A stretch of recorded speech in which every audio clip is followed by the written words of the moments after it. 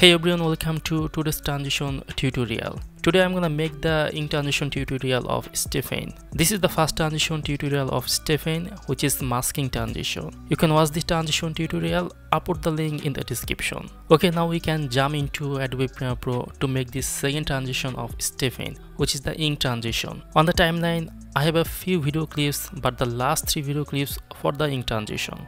In this transition, it will go from the first video to the second video through the ink footage by applying the track matte key effect.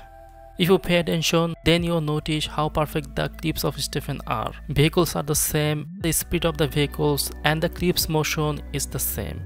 Okay, let me introduce the ink footage. Starting part of this footage is black and ending is white. That is black to white. Now the question is, how do you manage the ink footage? You can easily manage different types of ink footage from the net. Now we need to place the ink footage at the top of this video. After that we have to go to the effects and search for the track matte key. After find out the track matte key effect we have to apply this track matte key effect to this video. In the effect controls under the track matte key effect we have to set the matte to video 5 as the ink footage is on the track 5 of the timeline. Now we must set composite using matte alpha to matte luma. Well now look at the program monitor, I'm moving the time indicator and it goes from the black to the video. Here black means transparent. It will be apparent to you if I enable the transparency grid.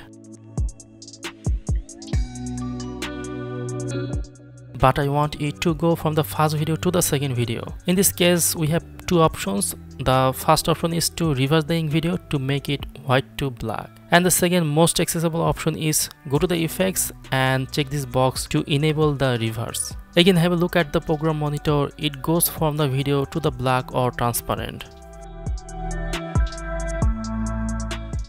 Now place the last video exactly here underneath these videos and finally we have got our ink transition for better playback you can hit the enter key on the keyboard to render the video well, this is the today's ink transition is actually the second part of the tutorial of Stephen. I said earlier in the video about the first part of the tutorial. You definitely will get link in the description. Thanks for watching this transition tutorial. You can watch other tutorials on this channel. I'll catch you guys in the next video.